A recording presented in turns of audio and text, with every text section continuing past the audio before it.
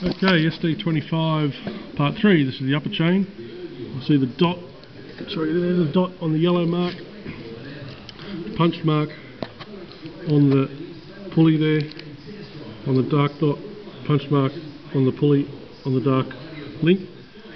Tension is in, set up, I pull the pin, there she goes.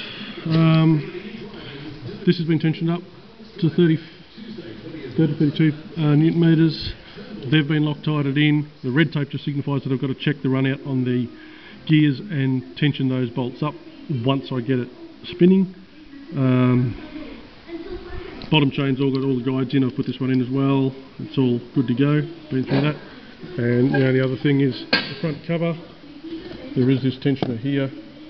Slips into the front cover, so it's ready to go. Other than that, um, that should be it. That's a dowel that does come out, so I put that back in. Made sure the oil oiling supply was good for that. That uh, hydraulic tensioner there. Once again, the O-ring will go into the there when I put that cover on, which will be very shortly. And this is all timed up. Two dots on the on the trough matches with the dot on the tooth. This one, the two dots on the tooth, matches with the dot on the trough. That's with the same amount of preload on each of these uh, split gears here. So the timing on the uh, balance shafts are right. Everything else is good to go. Good clearance everywhere. The chain looks like it's not rubbing because this this has been a duplex